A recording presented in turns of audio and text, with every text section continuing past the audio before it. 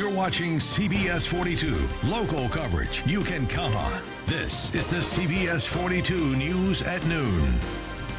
This weekend, a national tour will make its first stop in Birmingham. We've got Karen Korb, Mary Allison Cook joining us here today. Okay, so tell me, what is the All of Us journey?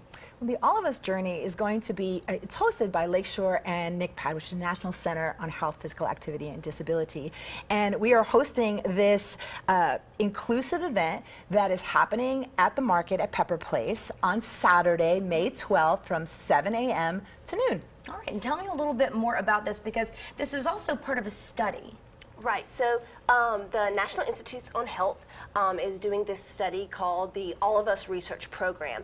And the All of Us Journey, which is going to be at the market at Pepper Place on Saturday, is basically this traveling tour bus that gives individuals information about the research study, mm-hmm. um, asks people to sign up because we really want a diverse audience of individuals to volunteer and sign up so we can get this giant database of diverse individuals from all backgrounds, people with disabilities, um, Um, so we can advance medicine.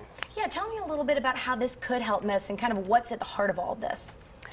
Right. so, tell us, Karen. Yeah, of course. You know, so we're looking at some precision medicine. It, it's healthcare based um, on the individual. Mm -hmm. So you're looking at data points when we get this research that involves where you live, your ancestry. It's not just medical information. It's about the entire person. And we're looking to have participants, a million across the entire country in the United States. So we're really excited about that. And like Mary Allison said, diverse populations are really important. Traditionally, people people with disabilities have not necessarily been included in the research, the research design itself. And so this time we are intentionally being included. We're really looking forward to this. And the more research and data that we get, the more medical breakthroughs can happen for people with health disparities and chronic health conditions and all kinds of different things. Quickly, just tell me where people can get a little more information you can look at the website www.joinallofus.org or you can look it at look it up at www.lakeshore.org